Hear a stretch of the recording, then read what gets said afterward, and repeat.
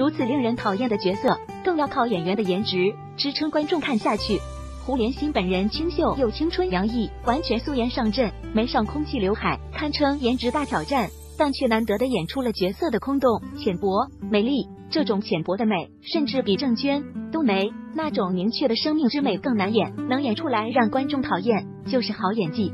但演员本人其实是可爱的，精致的眉和干净的脸，配上笑起来时嘴边若隐若现的两点梨窝，透着几分小女生的娇媚羞涩。只要不演如此让人犯恶心的角色，绝对是优雅清新、自然亲和的美女一枚。五黄小磊。四十一岁的黄小磊饰演少女乔春燕，原本是极容易翻车的，但竟然完全没有。少女春燕在剧中的设定就是一个大大咧咧、真性情的虎妞，前半部分穿个大红袄子，两条粗粗的麻花辫，看起来很喜庆，但素颜上阵也很容易暴露演员的疲态。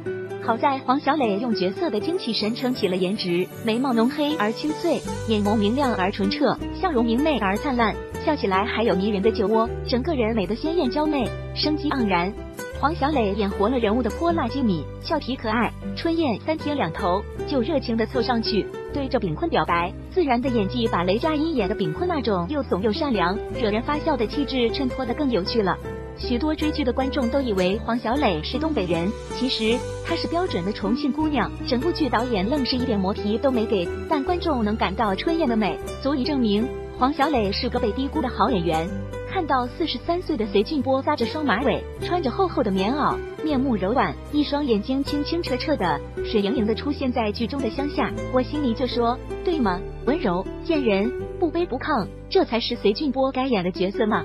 人世间的美在于把人间百态刻画到极致，真实的故事，真实的人物，观众从剧中的获得美的感悟，一切都那么美，火一样爱着，人世间值得。